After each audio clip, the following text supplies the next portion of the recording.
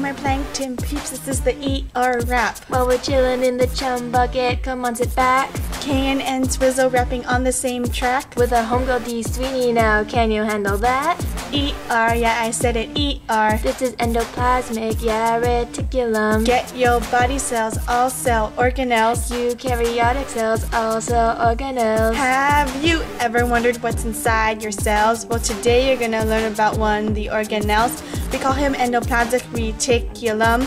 Just let the beat flow in your eardrums. Just like the web, ER's a network spread into the cytoplasm ready to convert amino acids into complex proteins ready to transport compounds unseen.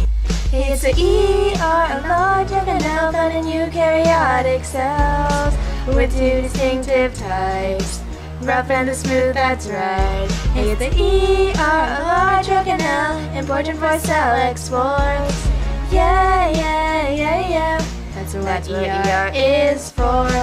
Yeah, yeah, yeah, yeah. That's, That's what, what ER is for.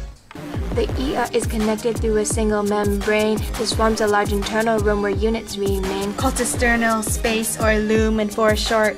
The lumen allows for compound transport. Now the function of ER well, it's diverse, manufacturing, processing, and transferring the works. With two key types, the smooth and the rough.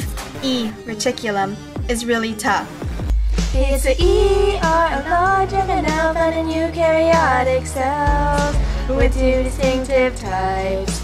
Rough and the smooth, that's right. Hey, the ER, a large organelle, important for cell exports.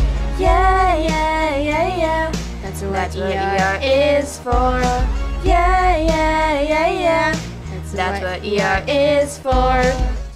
We got rough ER with ribosomes galore embedded on the surface, yeah, that's for sure. Having a bumpy like appearance under the microscope producing proteins right and left. Whoa, Whoa I'm on a boat. So the ribosomes on rough ER sequence proteins, then the ER folds the compound, so they're 3D. From here they're transported throughout the cell to the Golgi apparatus and other parts as well. There's also smooth ER, a tubular dude.